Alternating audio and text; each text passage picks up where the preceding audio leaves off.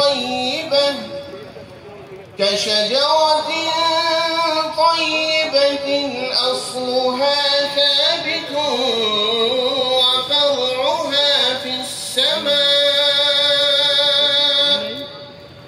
تؤتي أكلها كل حين بإذن ربها ويضرب الله الأمثال